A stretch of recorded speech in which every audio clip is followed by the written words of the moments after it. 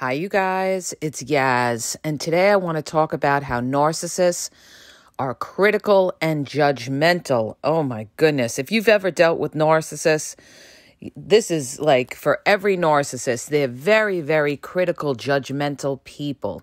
So I'm going to get into how, you know, they judge everybody. And this is one of the big red flags that you are dealing with a narcissist because they're constantly, constantly judging you, putting you down, and they do all of this to lift themselves up and feel superior. All right, so let's get into how a narcissist is judgmental. Number one, narcissists love to judge you by how you look. There's two things a narcissist is going to judge you on immediately when they first start talking to you or get to know you. They're going to judge you by how you look and they're going to judge you by how much money you have because that's what a narcissist values. They value, you know, whether something is aesthetically appealing or attractive. And they also value whether you have money and you could be a benefit to them, all right? They're worried about their image. So they'll always want to be around, you know, people that make them look good, okay? And if you're not looking good or you're not looking up to par, they're going to have they're going to say something about it, all right? Now people come back and say, "Well, the narcissist gets, you know, threatened by if you look good." And and, you know, they that's why they don't want you to self-care and all of that. That is true, but a narcissist when they're around other people and let's say you're their partner or you're their family member or something like that they want to impress other people. So they're going to be concerned about how you look and they're going to be very judgmental. They're going to tell you you know uh, you know why are you wearing this? or you know your clothes aren't ironed right or why did you wear those shoes the next thing a narcissist is going to judge is how you talk, all right? If you've been out with narcissists and you're again you're out around other people, remember they're worried about their their image. They're going to watch how you talk to other people. If they see that you're winning other people over, let's say you're talking, you're, you know, building a bond with somebody there in the group, that what's that narcissist going to tell you? Especially a covert narcissist they're going to tell you don't talk too much. You talk too much. What they're worried about is that you're shining. You're shining and and you're looking better than them. So they're going to try to suppress you and they're going to tell you either you talk too much you don't talk enough. They're always going to try to put you down in how you act and your behaviors okay? Another way a narcissist judges you they judge you by how you raise your kids. Nobody has a bigger mouth about how you raise your kids than a narcissist who does nothing for their kids or is not there for their kids. Those are the ones that always are sitting there judging you, telling you you're doing something wrong. Meanwhile, they haven't put themselves out or done anything for their kids. They're there for the good times, they're not there for the hard times, but they're quick to tell you that you don't know how to raise kids, all right? They love to put you down every which way moving along, you guys, because I did this whole list. I was thinking about all the things of how narcissists love to judge you. The next way they love to judge you is by what you eat. Ugh, what you eat. They'll say to you, why do you have to buy this? Or why do you buy bologna that's so unhealthy? Or you know you eat like garbage. Or if it's the other way around oh you you know you're a health nut you always eat this you always eat that. They always have to critique everything that you're eating. You know they have to always make a sly uh, you know a, a snide little remark or something to give you a complex a complex about what you're eating or what you feed the kids or you're not healthy or you're overly healthy. See, the narcissist is the one who knows better, okay? They think they know better. And they're also very, very judgmental about your cooking. They're going to tell you, oh, you don't know how to cook. Oh, this is too hot. Uh, you know, this is too spicy. Oh, this is overdone. This is underdone.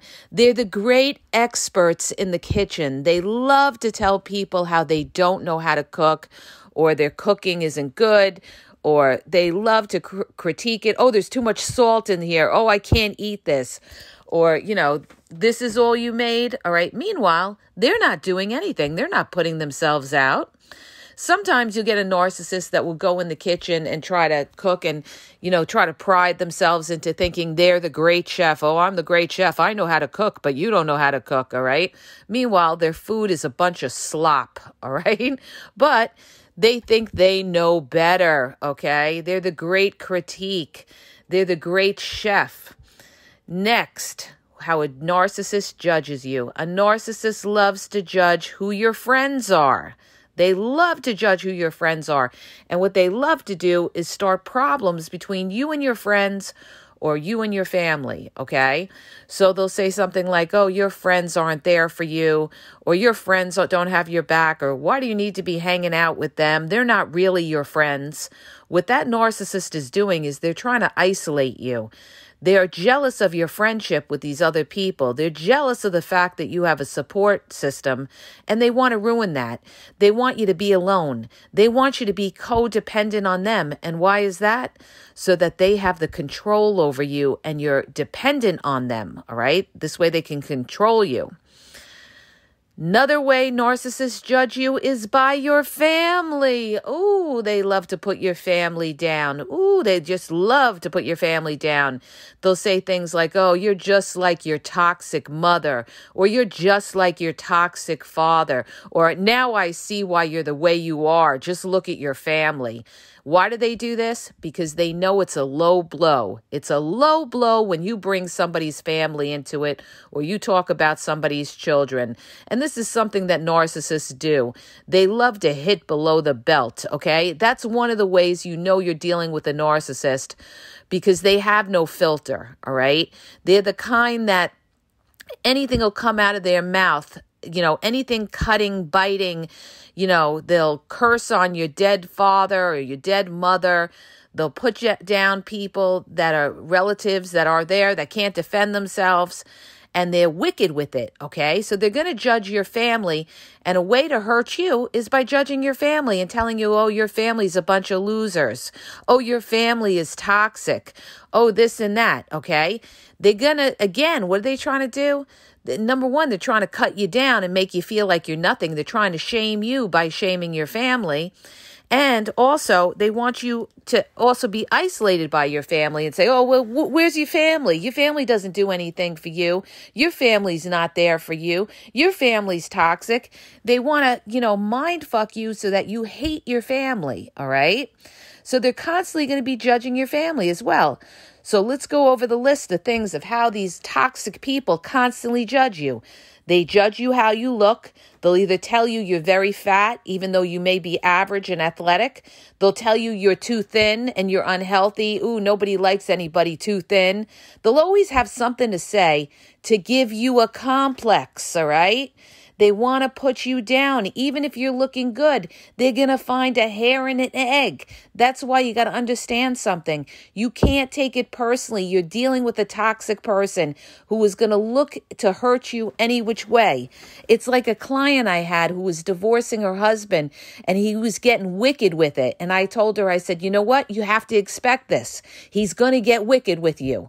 But remember, all of what he says doesn't mean shit. He doesn't have anything on you with regard to going to court. Judges don't care about that petty bullshit, all right? They care about what's in the best interest of the children and they care about the financial issues involved in the divorce. They don't care about the back and forth name calling. So the point I'm trying to make in all this is you can't let this this bullshit that comes out of their mouth get to you. They're trying to hurt you. They're trying to put you down. And why? Most of the time they're jealous of you or they're threatened of you. So they want to put you down. You have to just say, "Oh, you know what? They they're just trying to rip me down, rip down my self-esteem. Look where it's coming from. Look at them. And half the time you look at these people that are critical and judgmental, they live in glass houses. They half the time, you know, they're not the ones that should be talking, all right? They shouldn't be talking because they're toxic as fuck.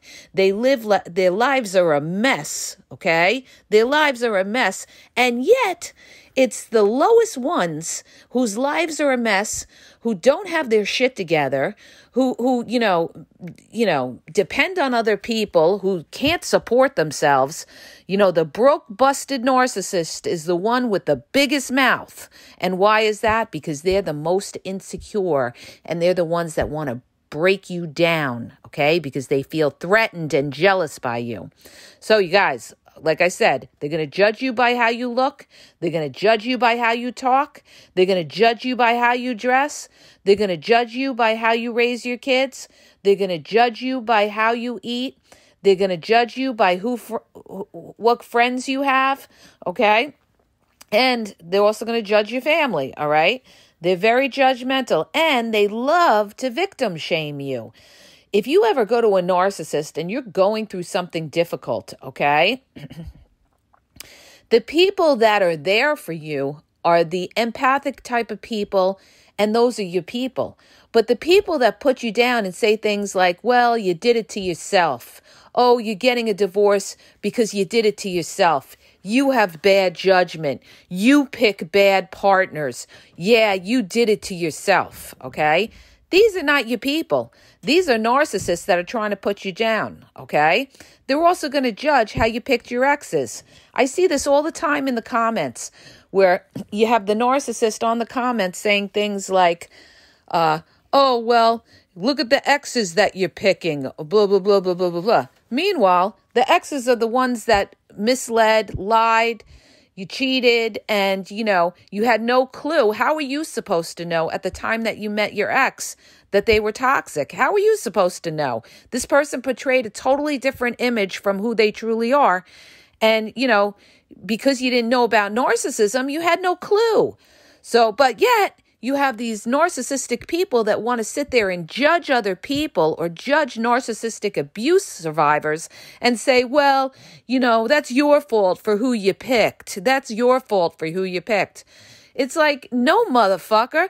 I had no way of knowing who I was dealing with, okay? And who are you to judge me? Let's take a look at your life.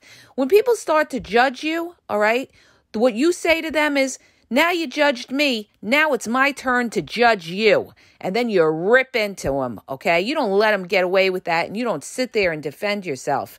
But again, it's always the people that are talking and judging you who shouldn't be talking and judging you. I always say, look at the source, all right? So these people are not kind, they're not understanding, you know, and they want to just constantly put you down for everything. But, you know, when you see somebody is not accepting of you and they're critical and judgmental, you got to say, uh, uh, uh, uh, uh, not today, Satan. Now I see where this is coming. This is not my people. Somebody who's not understanding or kind or, or sees where I'm coming from is not my people. I'm dealing, most likely, you're dealing with a critical, judgmental narcissist that wants you, puts you down because it makes them feel superior or puts you down because they're threatened of you or they're jealous of you. And in any event, you deal with somebody like this, you've got to cut them out of your life because after a while, they're going to give you a complex and they're going to break down your self esteem and your self worth. And what does that do, you guys? That's going to give you anxiety and depression. And that's why a lot of these people are in therapy after dealing with a narcissist because the narcissist broke down their self esteem, their self worth. And now these people are basket cases getting therapy when it should be the fucking therapist who needs therapy to look at themselves in the mirror. Okay. Narcissists love to tell you, oh, you need to look in the mirror. No, uh, turn it around. Go take a look in the mirror yourself because you're not taking accountability.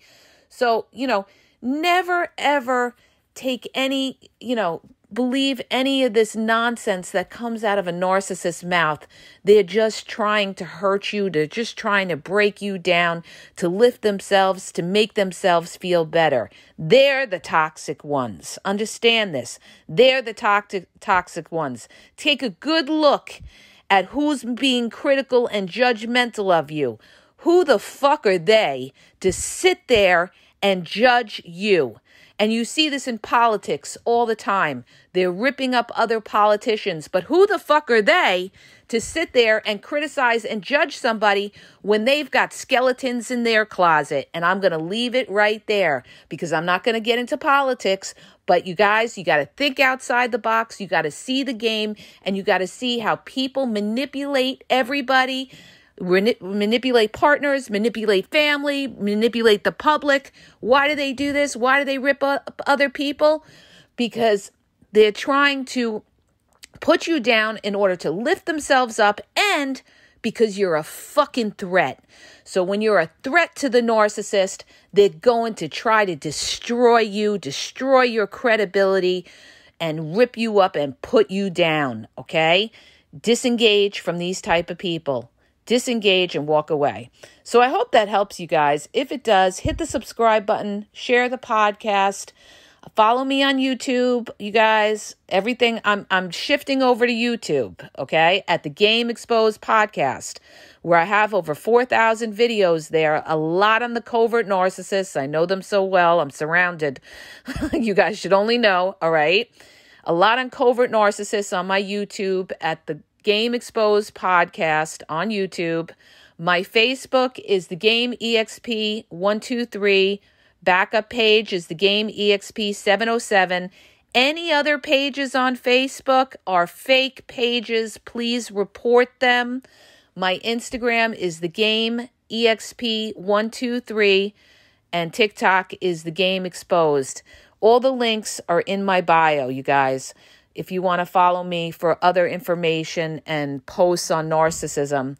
And the other thing is, if you're looking for one on one phone coaching, go to the link in the bio of this podcast for my website where I explain and give you information how to have a one on one phone coach with me, you know, confidential to talk about any questions or problems you're having with the narcissist.